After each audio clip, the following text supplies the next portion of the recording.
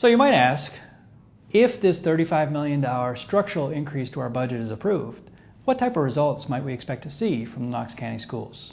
I think that's a fair question. We've been working diligently to meet higher academic standards that have been laid out here in the state of Tennessee and to meet the ambitious goals defined in our strategic plan, Excellence for All Children. If you look at our results over the last few years, we've made solid academic progress, and we've seen incremental gains in student achievement. But I believe we're at a defining moment in public education for our community, and we want to make sure that we provide our students with the skills, competencies, and knowledge that they need to be competitive and successful in today's world. I believe that requires a bold investment that will be needed to dramatically change the trajectory of student results and outcomes in the Knox County schools. Specifically, we should expect to see increased achievement on third grade reading assessments from the TCAP test here in the state of Tennessee.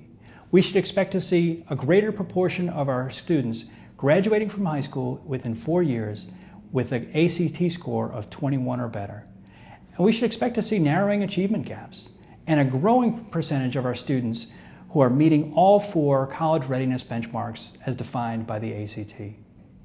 In short, if this important investment in our children and in our community is approved, we should expect to see dramatic acceleration of our effort, our progress, and our results for our kids as we seek to achieve our ambitious goal of excellence for all children.